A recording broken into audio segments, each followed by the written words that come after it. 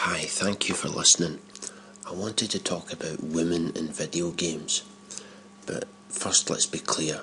Most female characters, they're not even human, and the ones that are, they're non existent and they're pixelated, right? In the early days, women were always the rescued party, very rarely the rescuers, but the reason for this is simple. In the early days, it was almost exclusively males that played video games, and the reason it was a woman that needed rescuing was simply to appeal to that wonderful side of males that love women and feel very protective of them. Rescuing a woman in peril is a dream for most males due to the fact that they hold females in such high regard and they protect them and care for them so much. This explains why games had males as the heroes and females as the ones in need of rescuing. Obviously, this eventually had to change once females started to enjoy playing games as well, but not a complete reversal as women have no natural desire to rescue or protect men, but they do have a desire to be part of the fun, and as such, games companies all over the globe introduce tremendous female characters as lead roles and supporting roles, most of which give male characters a run for their money. It also led to some patronising games and insulting garbage, as in the case with the Nintendo DS. They had a, for a while, they had what was called games for girls. It was a load of nonsense. It was just a bunch of games about ponies and fashion. An absolute insult to any female gamer worth their salt. For the most part, though, the invasion of female characters has been a positive thing. One that sticks out more than most is Tomb Raider's Lara Croft. With a fair amount of decent games under her belt and a couple of mediocre movies, she has become one of the most famous video game characters of all time. In fact, if it wasn't for Mario, Sonic, and Pac Man, she would likely be the most famous. And in my personal opinion, the most famous human character. I know Mario is human, but he's a cartoon. He'll always be represented as a cartoon. She will be represented as a woman. Um, some feminists will say that she's only popular because of her big boobs and that she's out of proportion due to sexism and objectification of women. But what these feminists fail to realise is that the gameplay, atmosphere, and music of Tomb Raider games are what kept people interested, not pixelated boobs on PlayStation 1 graphics. I mean, what was that? Two pixels? Ridiculous. Also, if Lara's disproportionate body is the objectification of women, then surely Solid Snake's muscles and Gabe Logan's gruff, sexy voice and Squall's chiselled good looks are examples of the objectification of men, then, right? Another thing they fail to realise is that that woman with the big boobs happens to be a very intelligent, wealthy, educated, brave archaeologist. It's funny how the feminist missed those facts, isn't it? It's not always big boobs and tight shorts, though. Take Jade, for example the heroine from the most excellent Beyond Good and Evil. She's a green eyed, beautiful reporter who is intelligent, daring, honourable, and ends up saving her planet. I would class that as a positive female character in video games. But like in life, it takes all sorts, and this is no different in video games, as the women, exactly like the men, come in all shapes and sizes. Some are good, bad, funny, boring, stupid, intelligent, evil, and crazy and no character in the history of video games does crazy quite like Catalina from Grand Theft Auto 3 and Grand Theft Auto San Andreas. In my personal opinion, she's my, one of my favourite characters in video game history, right? I always thought that she should have had her own game, her own Grand Theft Auto game. She never did though, but just it never happened. Um, she's she's wild, she's criminally insane, psychotic, she's deadly, and she, she she obviously has this interesting past, but it never gets explored in the games, and it just leaves you, it leaves you wanting more. She's very interesting and complex woman, and a great example of the different types of female characters there are. Of course, she's not the only uh, great female character in the Grand Theft Auto series. There's, there are numerous great female characters in the most popular game series on the planet, like um, Auntie Poulet, Kendl, Maria, Mercedes, and Asuka. One game that has an all-female cast of playable characters is the Final Fantasy X sequel, Final Fantasy X-2, which was a full game in its own right and not an equivalent of like downloadable content or anything. It starred three women, Yuna, Rikku and Paine, all strong characters with different personalities.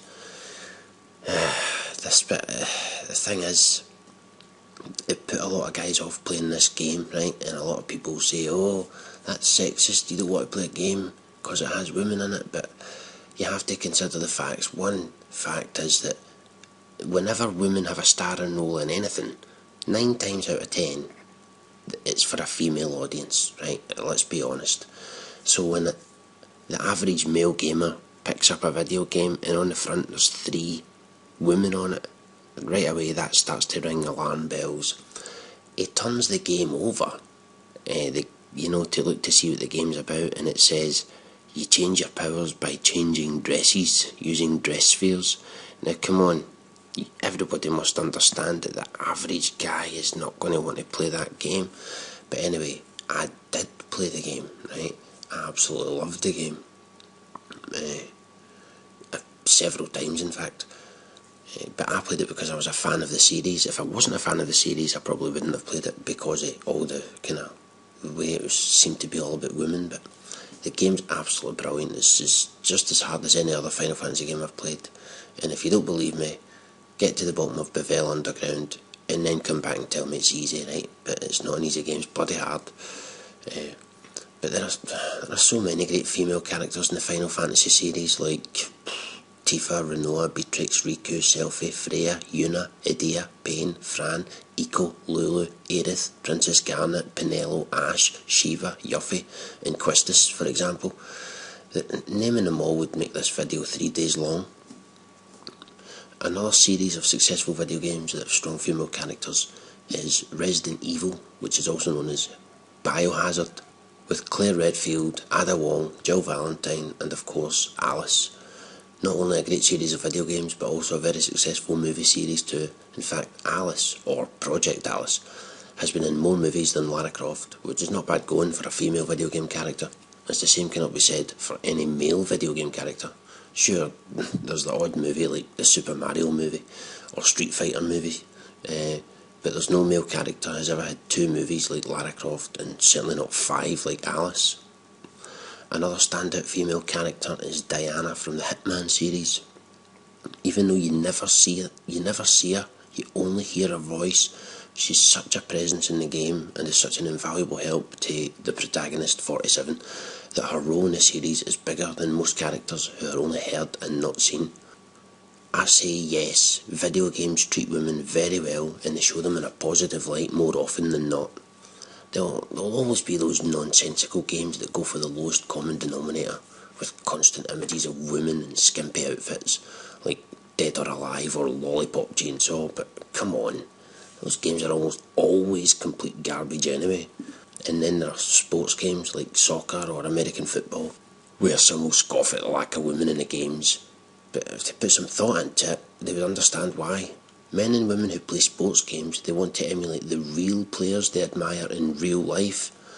And of course, in real life, male sports are far more popular than female sports, so any smart businesswoman would target such a game at men and not include unnecessary female characters that no one is interested in.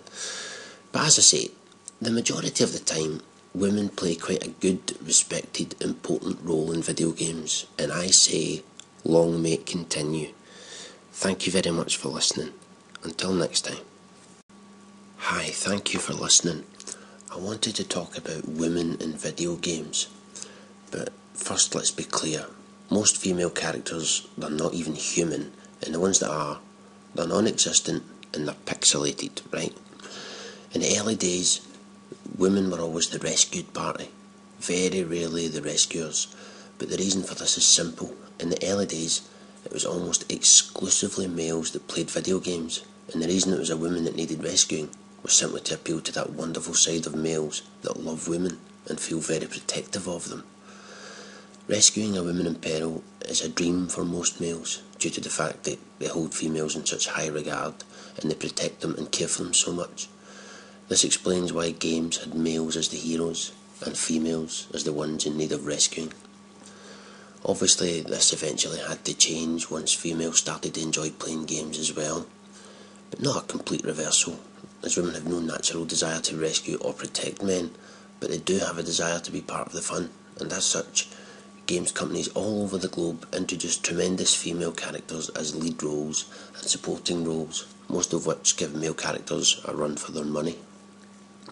It also led to some patronising games and insulting garbage, as in the case with the Nintendo DS. They had a, for a while, they had what was called Games for Girls. It was a load of nonsense. It was just a bunch of games about ponies and fashion. An absolute insult to any female gamer worth their salt. For the most part, though, the invasion of female characters has been a positive thing. One that sticks out more than most is Tomb Raider's Lara Croft. With a fair amount of decent games under her belt and a couple of mediocre movies, she has become one of the most famous video game characters of all time. In fact, if it wasn't for Mario, Sonic, and Pac Man, she would likely be the most famous. And in my personal opinion, the most famous human character. I know Mario's human, but he's a cartoon. He'll always be represented as a cartoon. She will be represented as a woman. Um, some feminists will say that she's only popular because of her big boobs and that she's out of proportion due to sexism and objectification of women. But what these feminists fail to realise is that the gameplay, atmosphere, and music of Tomb Raider games are what kept people interested not pixelated boobs on PlayStation and Grand Theft Auto San Andreas. In my personal opinion, she's my, one of my favourite characters in video game history. Right, I always thought that she should have had her own game, her own Grand Theft Auto game. She never did though, but just it never happened. Um, she's she's wild, she's criminally insane, psychotic, she's deadly, and she, she she obviously has this interesting past, but it never gets explored in the games, and it just leaves you, it leaves you wanting more. She's very interesting and complex woman, and a great example of the different types of female characters there are. Of course, she's not the only uh, great female character in the Grand Theft Auto series. There's, there are numerous great female characters in the most popular game series on the planet, like um, Auntie Kendl, Maria, Mercedes, and Asuka.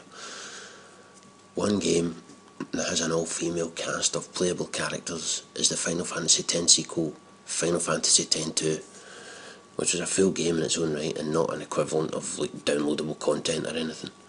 It starred three women, Yuna, Rikku, and Paine, all strong characters with different personalities.